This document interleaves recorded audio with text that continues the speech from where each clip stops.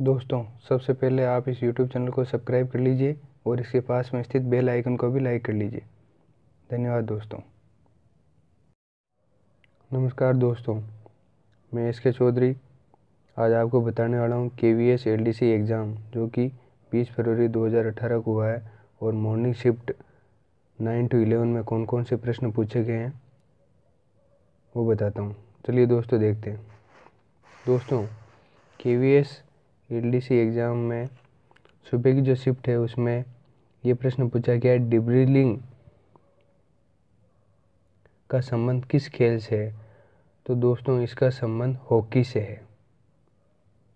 Next question है, RBI bank की स्थापना किस आयोग की सिफारिश पर हुई? तो इसमें उत्तर होगा, हिल्टन यंग कमीशन। अगला जो क्वेश्चन है ध्रुव तारा किस दिशा को बताता है?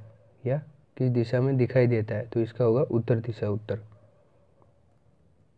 फिर नेक्स्ट क्वेश्चन है, निम्न में से किसको भारत रत्न पुरस्कार से सम्मानित नहीं किया गया है? किसको भारत रत्न पुरस्कार से सम्मानित नहीं किया गया है? ये बताना।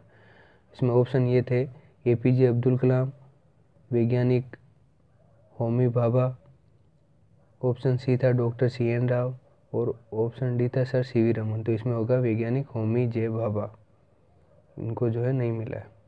नेक्स्ट क्वेश्चन था चार्ल्स डार्विन कौन थे? जीव वैज्ञानिक थे। उसके बाद क्वेश्चन था, विश्व रक्त दान दिवस कब मनाया जाता है? तो ये होगा चौदह जून को। उसके बाद था, भारत के राष्ट्रीय प्रतीक चिन्ह में क्या दर्शाया गया है? तो इसका उत्तर होगा बाई ओर, दौड़ते हुए घोड़ा तथा दाई ओर सांड का चित्र। तो दोस्तों, आप यहाँ देख सकते हैं, ये मैंने आपको चित्र जो उपलब्ध कराया है, और इसमें देखिए, बाई ओर घोड़े का चिन्ह है और दाई ओर जो है सांड का चिन्ह है। नेक्स्ट क्वेश्चन है दोस्तों, ये। इसमें ये मैथमेटिक्स का जो है क्वेश्चन दिया था 1.1 cube minus one point one का होल स्क्वायर, दोनों माइनस करेंगे तो ये उत्तर आएगा zero point one two one. और ये क्वेश्चन ये था under root zero point four into under root three point six तो दोस्तों, इसको सोल्व करेंगे, बिल्कुल आसान है। इन दोनों को जो है कंबाइंड में ले लेंगे zero point four into three point six तो पॉइंट फोर का पॉइंट हटाया तो नीचे टेन आ गया। इसमें थ्री पॉइंट सिक्स का पॉइंट हटाया तो नीचे टेन आ गया। अब फोर के टुकड़े कर लेंगे तो टू की पावर टू और थर्टी सिक्स के सिक्स की पावर टू और नीचे टेन इंटू टेन है ही। अब इसको ब्रैकेट से बाहर लाए तो टू इंटू सिक्स अपॉन में ten is equal to two into six is equal to twelve upon में टेन तो वन पॉइंट टू इसका उत्तर हो जाएगा। नेक्स्ट क्वेश्चन है कि भारत में प्रो कबड्डी लीग की शुरुआत कब हुई? तो इसमें उत्तर होगा इसका 2014 इसके बाद क्वेश्चन था एच का डिफ़ॉल्ट पोर्टल नंबर है तो उसमें एटी आएगा उत्तर। उसके बाद नेक्स्ट है एप्पल इन ने कौन सा वेब ब्राउज़र शुरू किया था? एप्पल इन ने कौन सा वेब ब्राउज़र शुरू किया था? तो इसका उत्तर होगा सफारी नेक्स्ट क्वेश्चन था विनजिप क्या है? ये एक सॉफ्टवेयर है। उसके बाद नेक्स्ट था, हिंदी में से सुलभ का विलोम क्या होगा? तो इसमें होगा दुर्लभ। उसके बाद नेक्स्ट घोड़े बेच कर सोना मुहावरे का अर्थ क्या है? तो दोस्तों, इसमें ये तो आपको पता ही होगा कि मतलब निश्चित होकर सोना। या बेपरवाह होकर सोना।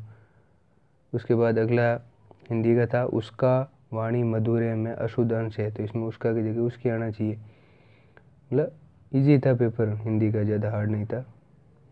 उसके बाद रीजनिंग में था कि रबर को टेबल या रबड़ होना चाहिए एक्चुअली रबड़ को टेबल टेबल को पेन पेन को बॉक्स तथा बॉक्स को अलमारी कहा जाए। तो छात्र पुस्तक में लिखने हेतु प्रयोग करेगा। तो छात्र पुस्तक में लिखने के लिए पेन का प्रयोग करेगा। लेकिन यहाँ देखिए, पेन को क्या कहा गया है? बॉक्स। तो इसका आंसर क्या आ जाएगा? बॉक्स आ जाएगा। इसके बाद नेक्स्ट क्वेश्चन था।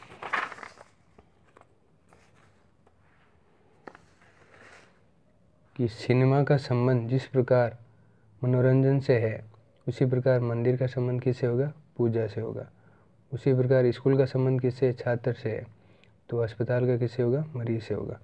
एक मैथमेटिक्स का क्वेश्चन है जो मुझे याद था, मैंने पूरा लिख दिया है। जो विद्यार्थियों ने जो मुझे बताया कि दो संख्याएँ जिनका अनुपात चार, अनुपात सात है।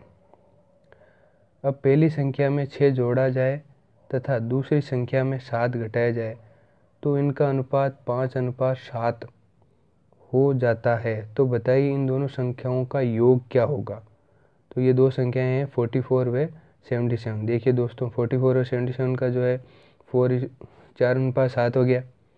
फिर इसमें से चवालीस में प्लस मतलब पहली संख्या में छः जोड़ना है और दूसरी जो संख्या उसमें सात जो है घटाना है, इनको कटा तो पचास अनुपात सात है, यानी पाँच अनुपात सात हो गया।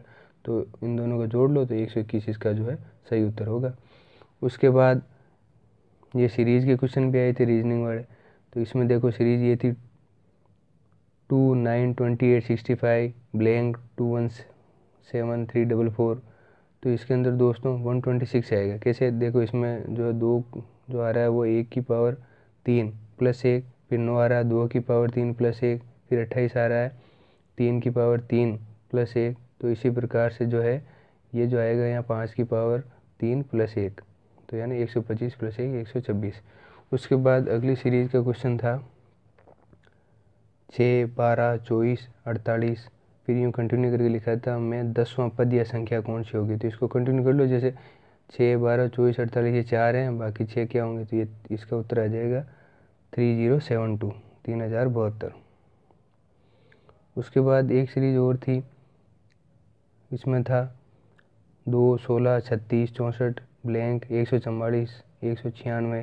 तो इसमें देख लो सिंपल है।